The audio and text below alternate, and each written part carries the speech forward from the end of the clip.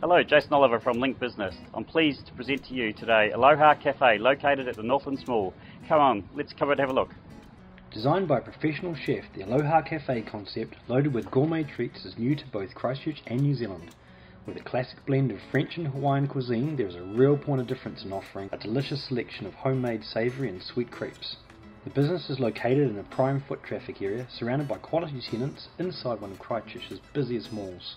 With an average of 22,000 pedestrians per day, the Aloha Cafe takes advantage of every appetite.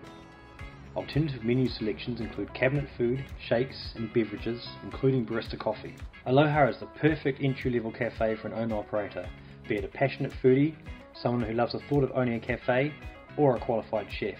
This cafe has plenty to offer. Currently under management, this cafe is only a few months old and has so much potential to be a Canterbury favourite. All the professional intellectual property design, marketing and menus come with the purchase, providing a forward-thinking entrepreneur the opportunity to franchise.